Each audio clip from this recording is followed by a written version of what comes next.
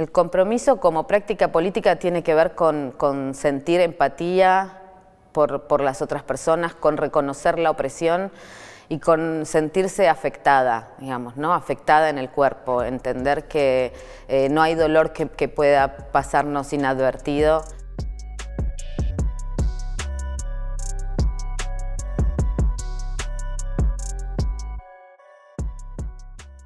Soy activista desde, desde, muy chica. Soy hija de una mujer desaparecida durante la última dictadura militar en Argentina y eso, ese es mi primer lugar de enunciación como militante. Pero ser hija de una mujer desaparecida que sufrió eh, violencia sexual, no solo tortura dentro de los campos de concentración, eh, también me hizo tomar conciencia de que eh, no podía hablar en general de las personas desaparecidas, sino que se necesitaba entender la violencia de género, la violencia machista como un tipo de violencia particular que terminó este, convirtiéndome en una militante feminista, una militante lesbiana feminista.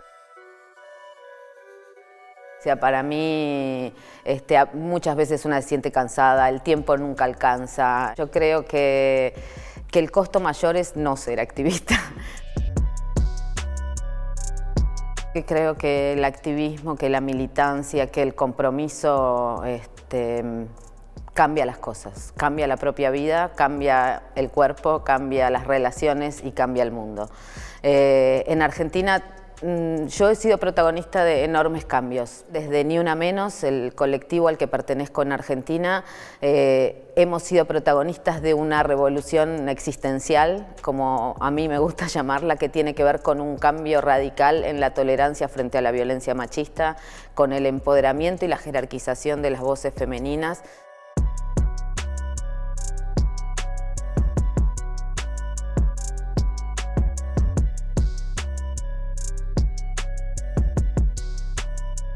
Empezamos a entender la violencia machista no como una cuestión de relaciones interpersonales, sino como una trama compleja eh, de política económica, social, eh, que nos oprime. ¿no? Entendemos un engranaje eh, indisoluble entre el patriarcado y el capitalismo. Creo que en este momento el feminismo o los feminismos son eh, los territorios de resistencia política frente al capitalismo que están creciendo más, entonces tenemos que replantearnos qué significa la democracia, tenemos que replantearnos qué tipo de, relación con el poder vamos a tener, sobre todo desde el feminismo, que el poder es, una, es, un, es un tema bien complicado porque, es, este, porque mm, los feminismos tienden a, a reyectar el poder, digamos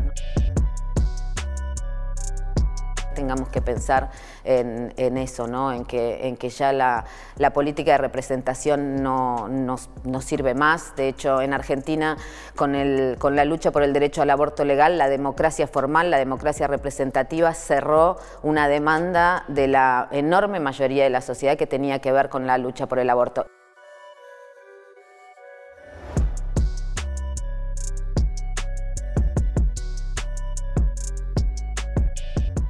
Pequeñísimo grupo de senadores, o sea, de representantes de las provincias, selló un pacto patriarcal con las iglesias y con el colonialismo en América Latina, porque lo que pasaba en Argentina iba, a rebotar, iba a hacer eco en toda América Latina, y nos negó ese derecho, eh, consolidando, digamos, esta paradoja de que a quién representan esos legisladores. No, no representan al pueblo, representan a los poderes concentrados.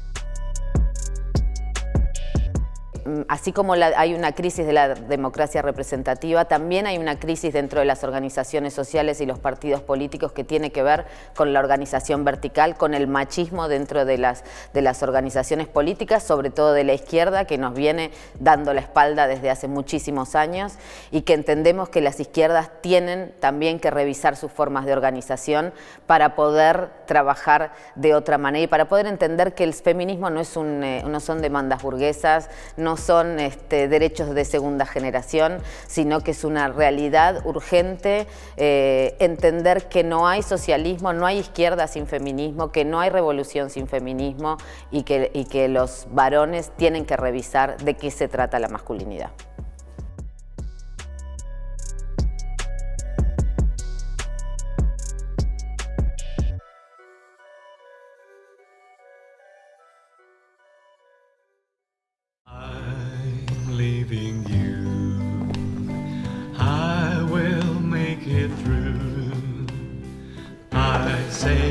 Goodbye. I will ride the sky just in the blue. All.